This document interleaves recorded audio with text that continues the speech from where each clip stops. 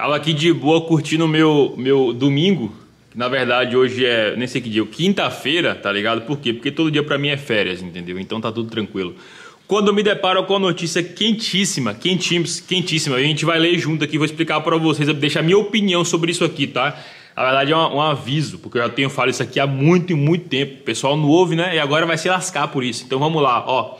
Concurso para professor de federal exige conhecimento em criptomoeda. Mano, é isso aí. O cara quer ser professor de uma universidade federal hoje, o cara tem que manjar de cripto. É, essa mesma cripto que os professores economistas a, a, hoje, na verdade, ontem, ainda falam mal e dizem que é dinheiro para é, moeda para lavar dinheiro, que é para isso, que é para aquilo. É isso aí, cara. Vão ter que engolir agora e aprender para poder fazer aquele concurso público. Inclusive, cara, esse concurso aqui, ó, é para ganhar, sabe quanto? R$ 9.616,18 por mês. Nada mal para um salário de um concursado, né? Esse pessoal é, que quer ficar a vida ganhando um salário só, tá, tá tranquilo. Mas vamos lá, ó.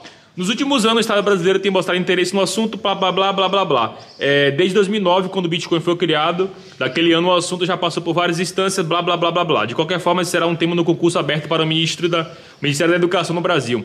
Um específico, em específico, Universidade Federal de Juiz de Fora, lá em Minas Gerais, para trabalhar um regime de trabalho com 40 horas semanais, em tempo integral, dedicado.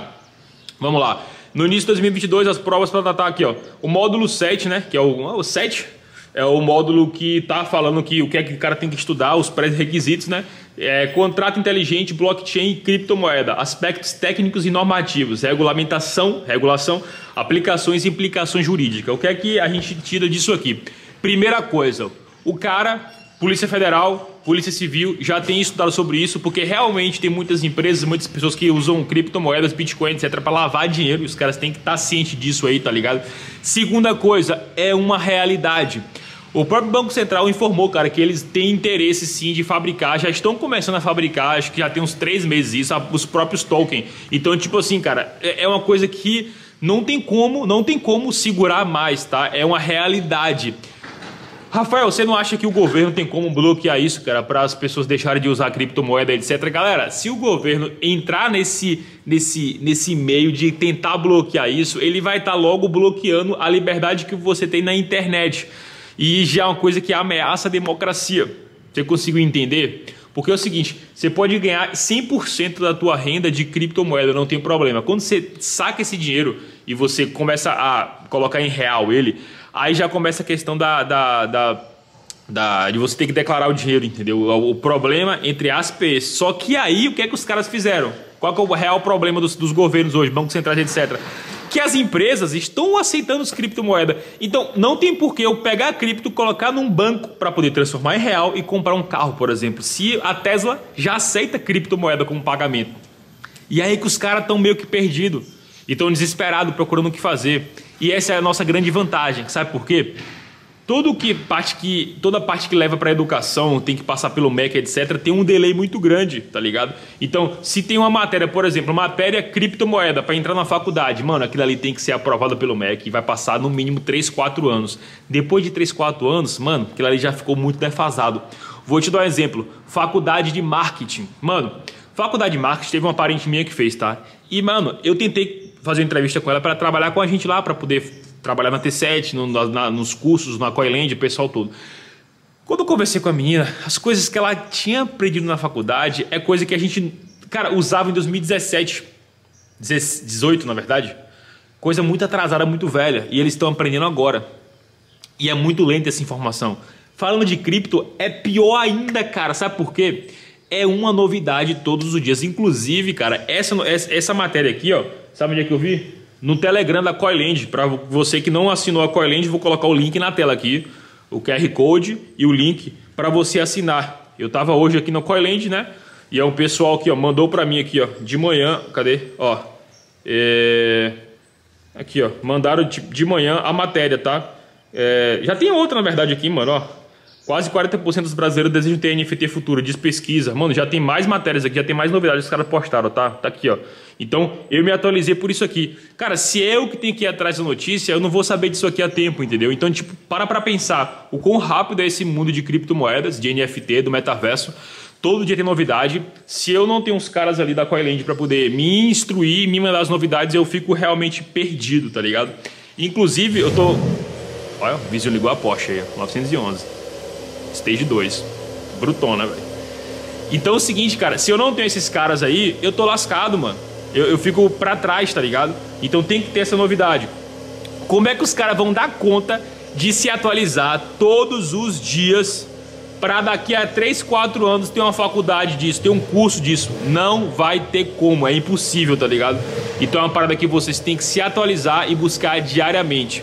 Sobre esse lance do concurso, cara, vão colocar concurso, vão estar tá lá. Só que, mano, até para os caras combater crime relacionado a criptomoeda, eles vão estar tá atrasados. Porque eles vão aprender uma coisa hoje lá dentro, numa faculdade, num curso, etc. E os caras que estão lá na internet fazendo a picaretagem vão estar tá mil anos na frente, cara. Só que isso aí, mano, vocês não podem ter, levar e lembrar só pro lado ruim. A gente tem que lembrar pro nosso lado, cara. Até porque a gente vive no Brasil. E no Brasil, vou falar baixo. No Brasil, a gente é roubado. Imposto de renda, tá? A gente é roubado pegam o nosso suado dinheirinho e não constrói asfalto, não constrói nada de qualidade. Então, cara, eu acho assim, nada mais justo do que a gente tomar o que é nosso, tá? Hoje a gente tem um fundo eleitoral, os caras passam, passam meses discutindo aí quanto dinheiro vão gastar nosso em campanha eleitoral. Isso é uma vergonha para o nosso país, é uma vergonha para a gente, na verdade. O país nosso é descarado. E o que acontece? A gente tem hoje formas de a gente ter o nosso, nosso dinheirinho suado em criptomoeda para não precisar estar tá se submetendo a esse tipo de coisa e aí vocês vão ficar achando ruim. Cara, realmente tem gente que pega essa, essa, essa vantagem que a cripto tem, cara, de ser de não ser é, lastreado, de não ser rastreável e usa para o mal. Só que você que é cidadão de bem, cara, não deve nem se preocupar com isso. A gente tem que usar para o nosso bem, que é o quê? Para a gente não ser explorado, nem ter que pagar imposto de renda pesadíssimo. Cara, eu vou ser sincero para vocês.